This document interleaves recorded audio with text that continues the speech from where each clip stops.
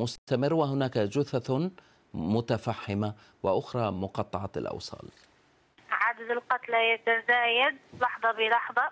وهناك عديد من الجرحى.